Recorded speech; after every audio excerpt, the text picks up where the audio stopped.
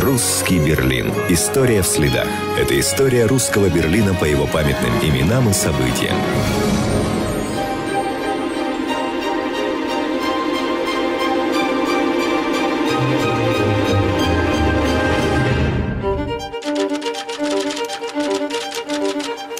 Когда он вернулся из Берлина в Москву, Лев Троцкий назвал его покойником, имея в виду творческую смерть. Осип Мандельштам тогда же объявил его вершиной русской психологической прозы, одновременно заявив, что надо бы его с этой вершины свергнуть. В начале 20-х годов прошлого века авторитетные критики считали его интереснейшим писателем тех лет, но уже к концу десятилетия он был полузабыт – и тем не менее, он вошел в историю русской литературы как крупный поэт и прозаик, выдающийся теоретик символизма, оказавший немалое влияние на мировую прозу, в частности, на творчество Пруста, Хаксли и Джойса. Речь идет о Борисе Бугаеве. Впрочем, под этим именем он почти неизвестен. Да и под литературным псевдонимом Андрей Белый его сейчас мало кто знает, а ведь он был одной из самых ярких достопримечательностей русского Берлина начала 20-х годов прошлого века. Когда он умер, его мозг был передан на хранение в Институт мозга человека.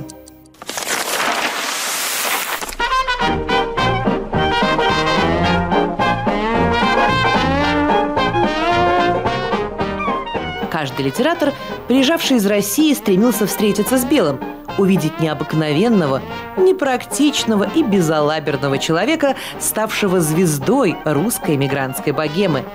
Этому способствовали не только его литературный талант, известность, но и эксцентричное поведение. Белый танцевал. Он посещал модные берлинские танцзалы и двигался с упоением –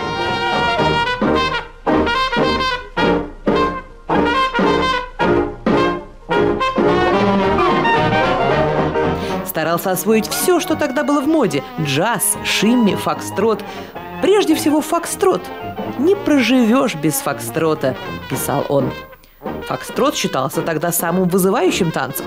Танцевал Билл неистово, иступленно, стараясь забыться, вести себя в состоянии безумного транса, во время которого, как писал Ходосевич, танец в его исполнении превращался в чудовищную мимодраму, порой даже непристойную.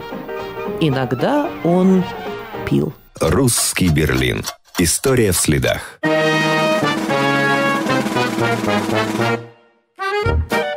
Андрей Белый впервые побывал в Берлине еще подростком в 16 лет.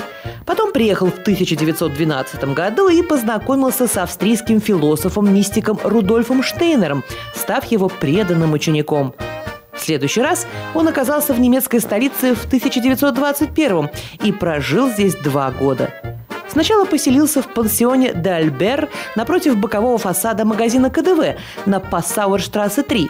Сейчас там многоэтажная парковка.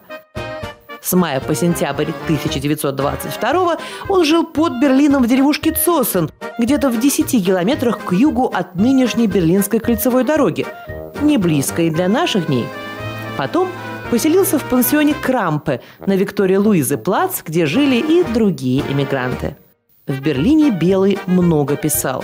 Всех знавших его он удивлял необыкновенной работоспособностью. За день мог настрочить чуть ли не печатный лист.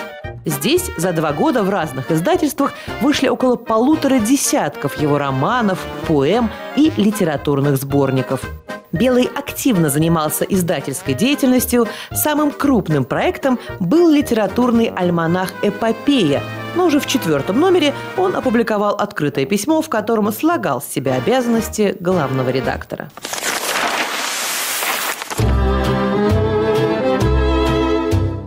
Эмигрантом Белый себя не считал. Впрочем, как и многие жившие в Берлине русские – в 1921 в Германию он приехал не из политических соображений. Он хотел спасти свою любовь, встретиться со своей первой женой Асей Тургеневой, которая, к слову, как-то сказала, что она и не жена ему вовсе. Здесь же, в Берлине, Белый пережил окончательный разрыв с супругой. Его личные настроения совпадали с общей атмосферой берлинской жизни, с относительным благополучием и возможностью какое-то время не определяться в политическом отношении. Как-то Увидев на квартире у Марины Цветаевой фотографию царской семьи, он схватил ее со словами «Какие милые, милые, милые! Люблю тот мир!» Он обладал удивительной способностью особым образом привлекать к себе внимание. Рядом с ним жили Владислав Ходосевич и его супруга Нина Берберова. В ту минуту, когда Белый вошел в дверь, писала Берберова об одном из его визитов, все кругом преобразилось. Он нес с собой эту способность преображения, а когда он ушел, все опять стало, как было. Стол столом и кресло креслом – он принес и унес с собой что-то, чего никто другой не имел. Русский Берлин. История в следах.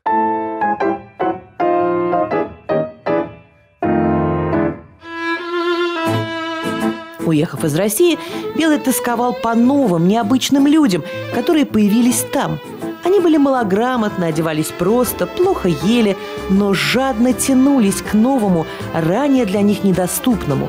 Их интересовало все – наука, культура, литература, поэзия. Они были очень благодарными слушателями.